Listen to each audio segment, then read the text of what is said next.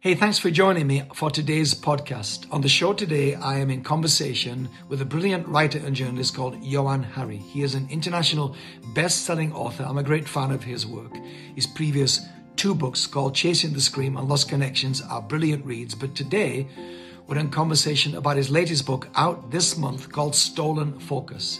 His work has been praised by Oprah Winfrey and Joe Rogan, and I understand why when I read his books, and so will you when you read his latest book, Stolen Focus. It's a book about how our focus is being stolen and our attention is being raided by corporations that are doing that for profitable gain, financial profitable gain, and how it's in their vested interests never to lose our focus and never to lose our attention.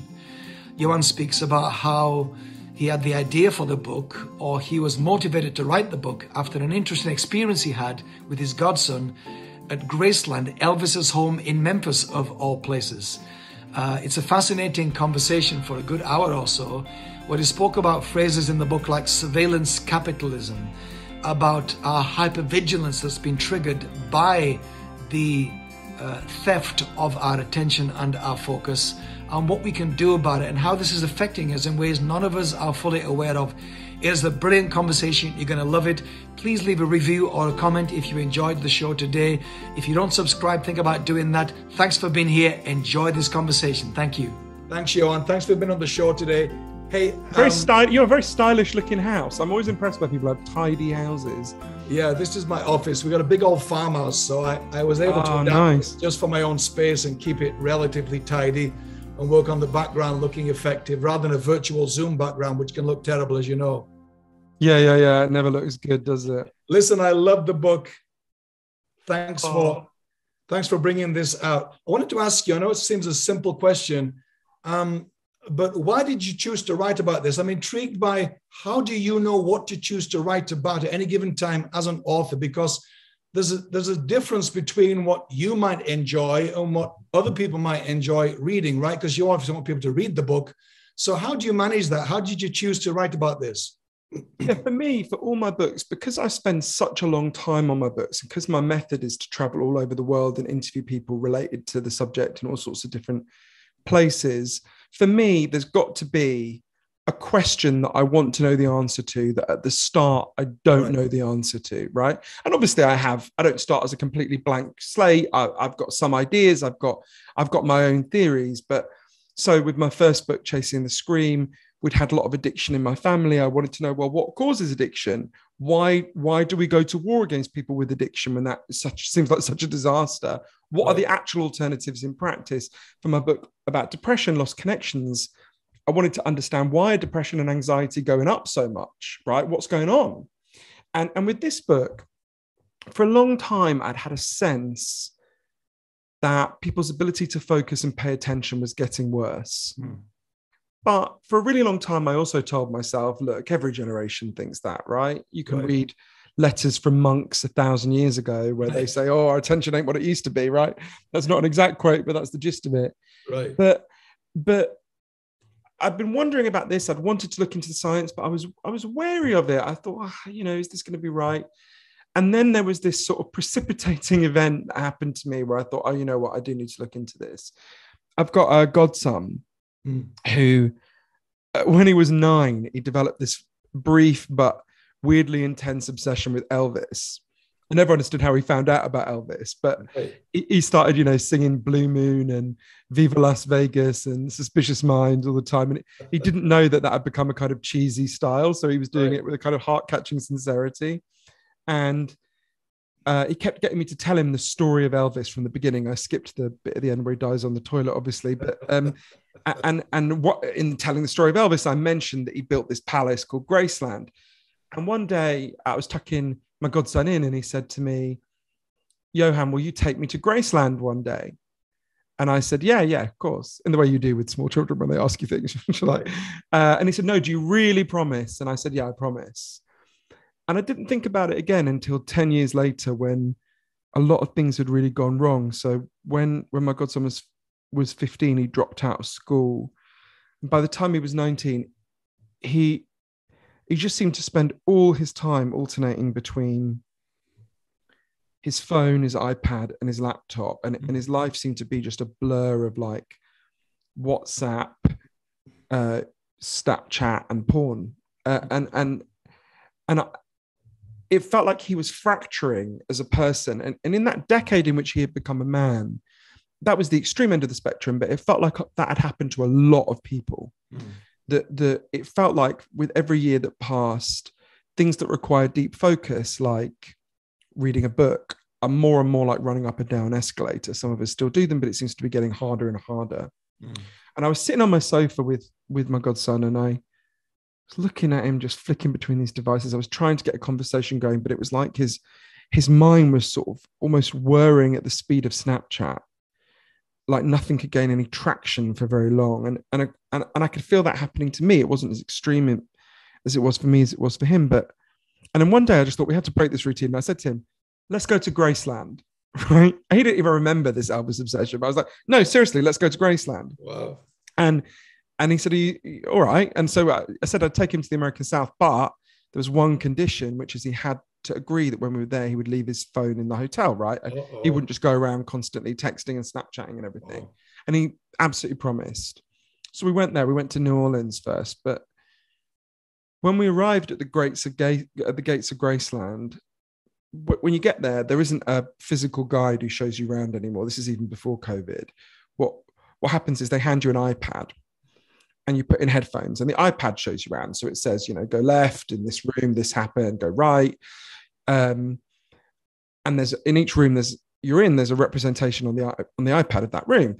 so what happens is everyone walks around graceland just staring at their ipad so I'm walking around surrounded by these sort of blank, a kind of United Nations of blank faced people, right?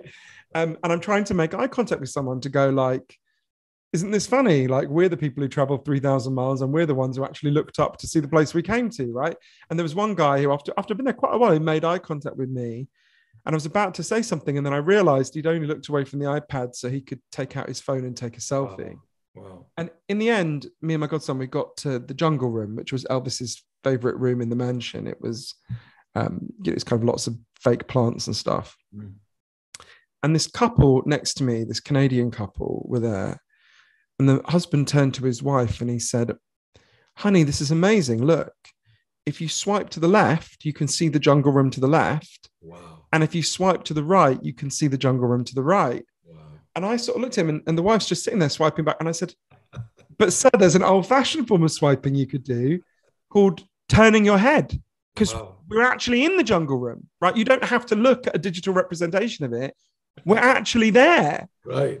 And and they looked at me like I was completely mad and hurried out of the room. And I turned to my godson, who was next to me, uh, actually was just in the corner of the room, but to kind of laugh about it. But he was just looking through Snapchat because from the moment we landed, he'd just broken his promise. He was constantly on his phone. And I just really lost it. I was like, you know you're afraid of missing out but this is guaranteeing you're missing out look none of these people know how to be present with the things that are right in front of them mm. uh, and he stormed off as well and um, i wandered around graceland on my own and that night i found him we were staying in the heartbreak hotel which is just across the street from graceland and i found him by the guitar shaped swimming pool and and he was sitting there looking at his phone and and I, I kind of realized like a lot of anger my anger at him was partly anger at myself um, because I could feel these trends bearing on me as well. And, and I remember him just looking at his phone and saying, I know something's really wrong, but I don't know what it is. Mm. And that's when I thought, yeah, I need to investigate this. I need to find out if this is a real crisis, if it is, what's causing it, and is our attention really getting worse? I think the evidence shows very clearly it is. I can talk you through that. And then, most importantly, well, what do we do about it? How do we get our brains back? What is it in you, Johann? Because even your other books, what is it in you that makes you want to chase that down because it's mo- it's beyond journalistic to me when i read your writing it feels to me um, an empathy a concern that you have it's not sociological journalistic that's in the mix but it seems to me that you have this concern it, I, I picked that up a lot in the book with your writing and your interviews is that are you aware of that inside you the energy like that you that triggering moment at Graceland, you thought, I've got to chase this down. It comes out of a concern to me as you're writing. I know you're a journalist in your background, but there's huge empathy and humanity in your writing. Oh, that's really nice of you to say that. I think, I think, I think the honest answer is I grew up in a very violent and mad Okay. family and environment, Mm. and obviously that can affect people in all sorts of different ways. Sure. But um, I think some people who grow up in families where, through no fault of their own, the adults are not capable of being adults or are not or fully capable of being adults.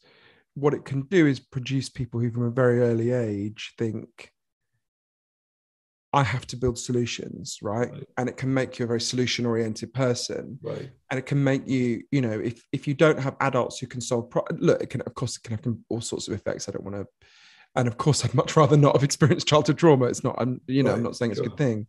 But i think it partly it can make you solution oriented also it can just make you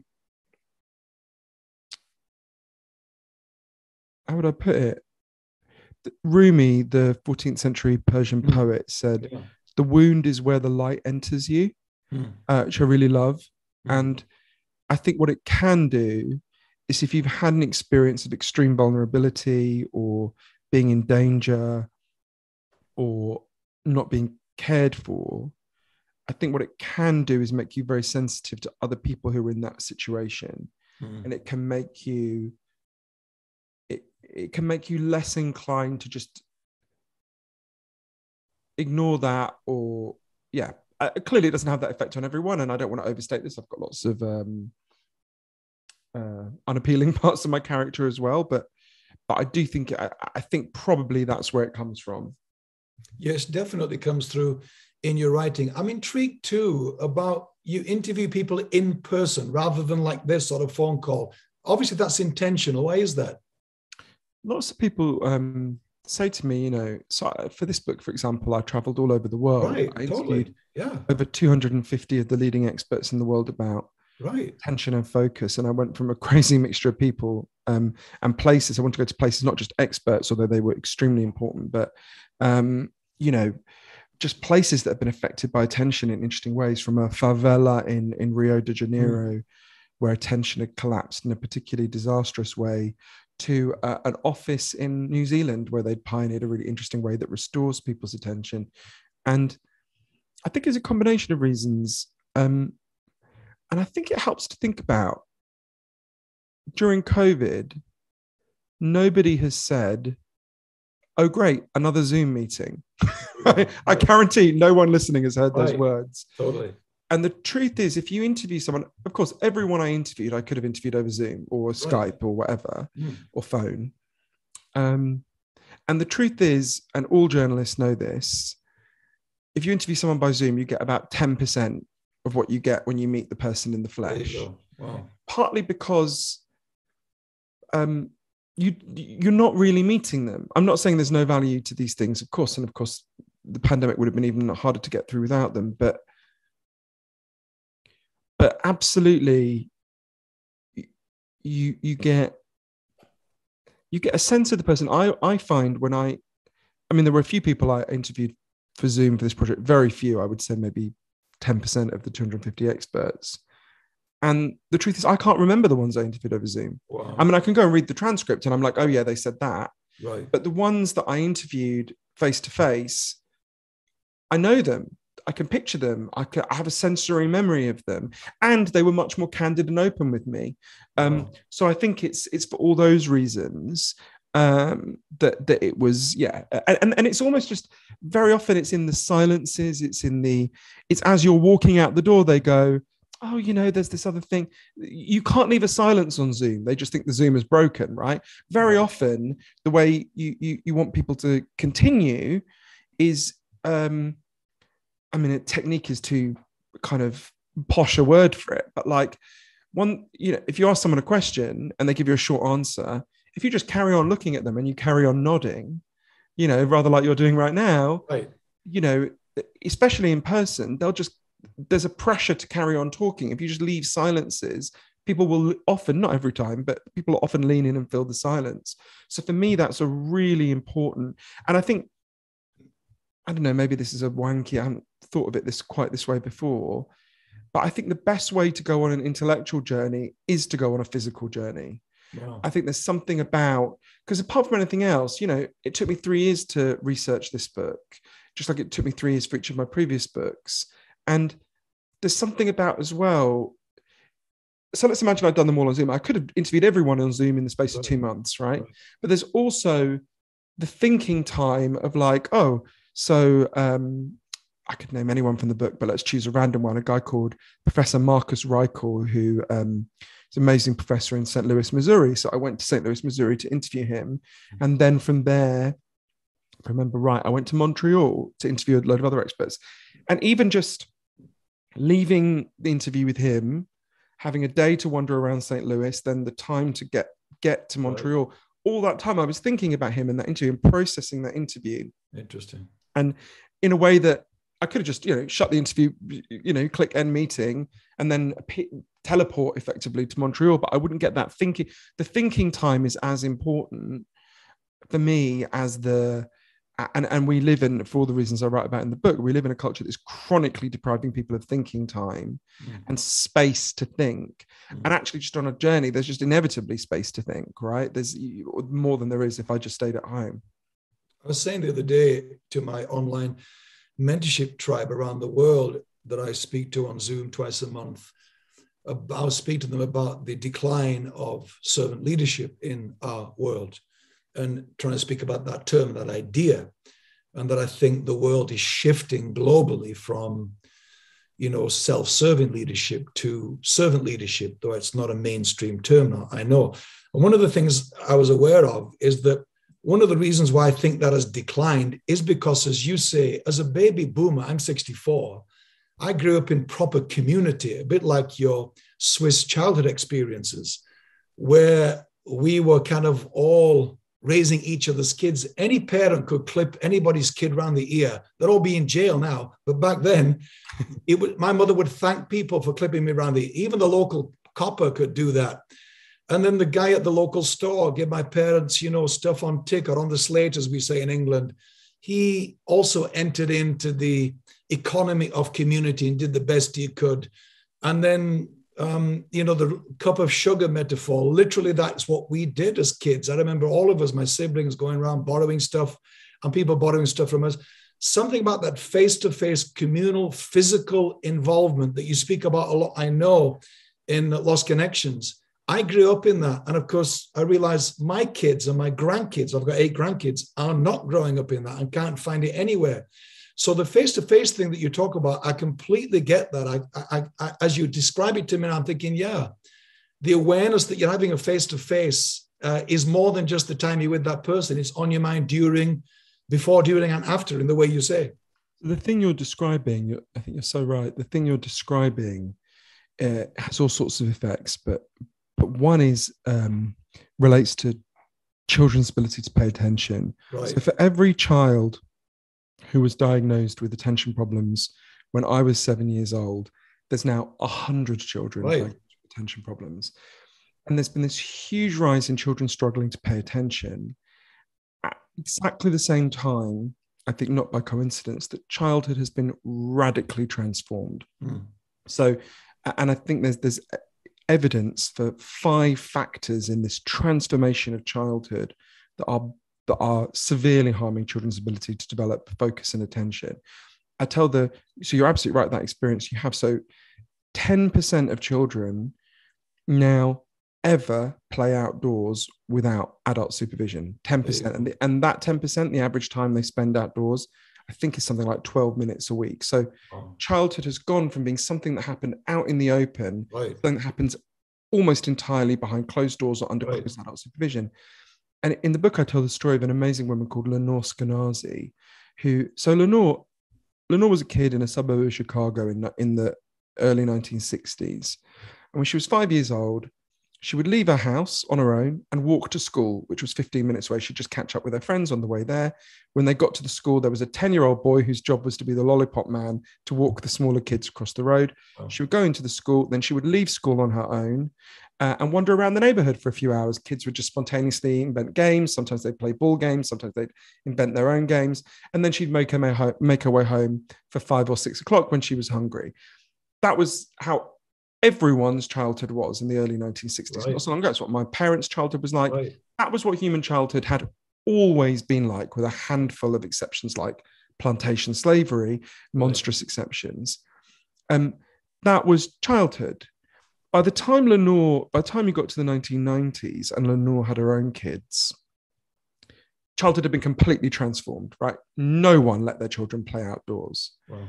And Lenore got involved in this controversy because so one day she took her son Izzy when he was nine on holiday to Mexico and they were in a resort. And for the first time, and she noticed that he would just run down every morning and the kids would meet up, meet up with other kids in the resort and they would just play spontaneously all day. And her son, it was the first time she didn't have to jolt her son out of bed in the morning. He would just and she suddenly realized for, for the first time he was getting a taste of what she got for her entire childhood. When he came, when they came back to New York, Lenore, uh, her son wanted a little bit of independence. So one day he suggested to his mum um, that, that they lived in Queens, suggested that his mother take him to Bloomingdale's, which is in Manhattan, and leave him there and he could find his own way home. So they sat on the floor with a map and they planned it all out, and and and she did it. And, she, and it was a catch in her heart as she left him. Right. And an hour later, he came home all sweaty and happy, and you know, feeling really grown up. And she, oh, this is a great thing. So she wrote. She was a journalist. She wrote an article saying, "What a great, you know, other parents might want to consider doing this." And what happened to Lenore next was insane. So she was described by several newspapers and TV shows as the worst mother in America. Wow she was put on TV shows where she was next to a parent whose child had been murdered, as if those were equally likely scenarios that your child would be murdered and your child would be able to get the subway, you know, a few stops from Bloomingdale's. Mm. Um, but it led to actually this incredible experience for Lenore because she realized, well, what happened to the culture? Because all these people saying she was America's worst mother had themselves experienced the kind of childhood she had experienced. Right. She's like, what happened to parenthood? And it's not that the world got more dangerous. Murder rates massively fell during that time. Mm, they fell for adults and children. And um, today, your child is three times more likely to be hit by lightning than to be killed by a stranger. So wow. she's like, well, what's what's going on here, right? Um, and she began. She set up an amazing group called Let Grow, which is about restoring childhood and children's ability to play. But the reason why I tell this story in my book about attentions is what I learned is there's scientific evidence for 12 different factors that are causing this attention crisis that have got us to the point where the average American college student now focuses on any one task for 65 seconds, and the mm. average office worker now focuses for only three minutes. And one of those factors is the physical and psychological confinement of our children, which is causing, it's partly to do with the way our school system runs, which is terrible and harming attention. We can right. talk about that. But this factor you've raised, which is a really important one, there are loads of ways in which it damages attention. The first is really basic and obvious exercise. Right. When you, kids get to run around, which they naturally want to do, it causes their brain to grow bigger and to have more neurons. Mm. We physically prevent children from exercising, right? The, the second is the skills that children learn in play. Mm. So think about when Lenore was in that neighborhood, just wandering around at the age of five and from then on. What's she learning when she plays with the other kids? She's learning how to make things happen, right? You have to suggest a game that the other kids go along. She's learning how to persuade the other children. Um, she's learning how to cope with disappointment. Sometimes the kids don't want to play the game you suggest. Sometimes you're going to lose the game. Right. She's learning a whole. Re- these are and these are not incidental skills, as Dr. Isabel Behncke, the Chilean expert on play, put it to me. You learn how to learn in play, mm. right? This is this isn't some some additional add on. This is how we learn to learn. Everything else we learn is built on this baseline of what children learn when they're playing. The third factor is it helps you to cope with anxiety. Um, kids who don't get to play are much more anxious because they they're not they haven't learned that experience of oh I try that it won't work okay I'll cope with disappointment this way and that. Right. The fourth is that children learn what they're what they're inherently interested in by running around and playing. You know, some kids learn that they're the class joker. Some kids learn that they're good at football. Some kids learn that they're, you know, like little science experiments, whatever it is. But if you're deprived of play, if you're managed all the time, you don't get to do those things. You don't get to find out what you're good at. And it's when you discover meaning that you can begin to pay attention. When mm. something's meaningful to you, you can pay attention to it. And we've stripped all these things out of children's lives, right?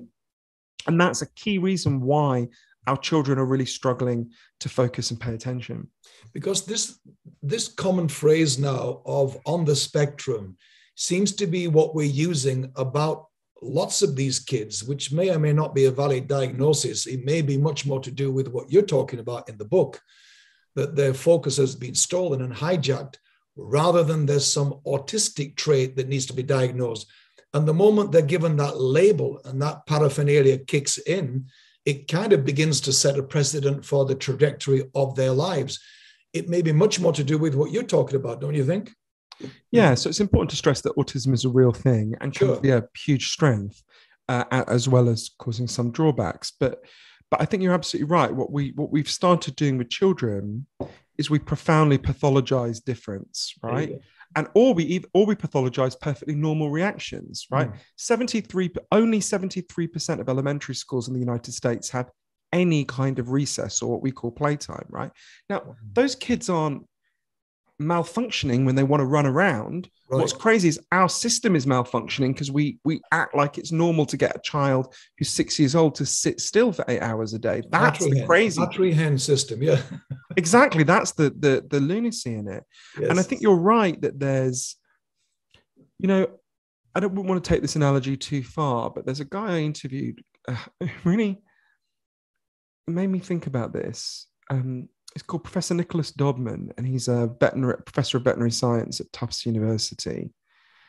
And one day, about 20 years ago, an owner of a dog came to see him because he also does consultant veterinary consulting. Dog was called Eagle. Um, eh, sorry, Emma. She was a beagle, and the owner said, "I've got a real problem. Uh, my dog won't pay attention to anything. My dog runs around all the time, and my dog barks a lot um, what can I do? So initially, um, Professor Dodman assigned the, the owner and the dog to a training class, but the, but it didn't make much difference. It was a little bit, but not much. So at that point, um, Professor Dodman, you're going to think I'm joking about this. I'm not. Diagnosed the dog with ADHD wow. and prescribed Ritalin for the dog. At which point, um, a few months later, the owner comes back and says, "It's great. My dog doesn't bark anymore. My dog's doesn't run around all the time." Wow. And and Nicholas Dodman is um, a pioneer of. Uh, he's been called the the Pied Piper of drugging animals. So he's been a huge pioneer of the extension of what used to be thought of as human psychiatric concepts to animals.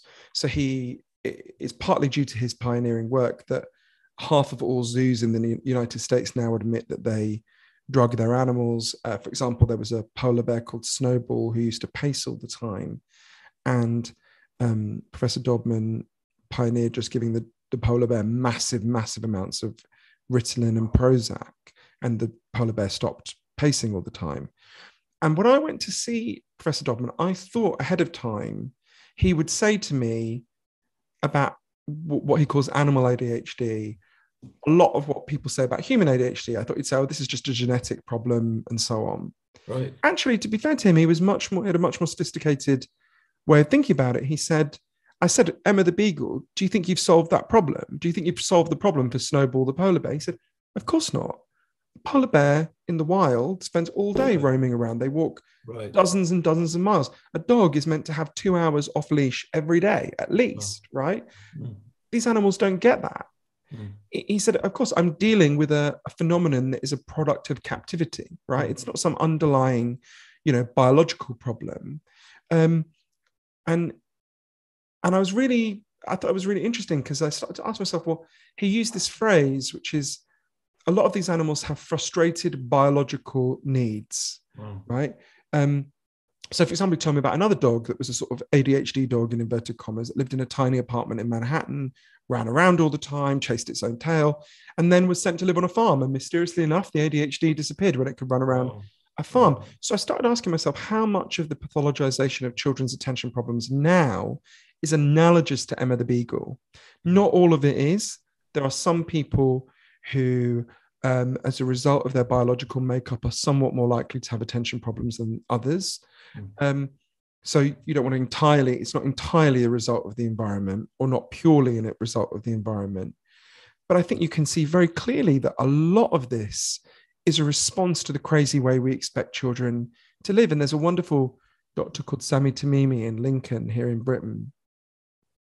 Very moving. He's a child psychiatrist. And he took over a practice in Lincoln, maybe uh, when did Sami start? 15 years ago. And he took over 27 kids who'd been diagnosed with ADHD and were being drugged with Ritalin, which is a very powerful stimulant drug. And I remember him describing to me a few of his cases. There was a boy called Michael who was 11.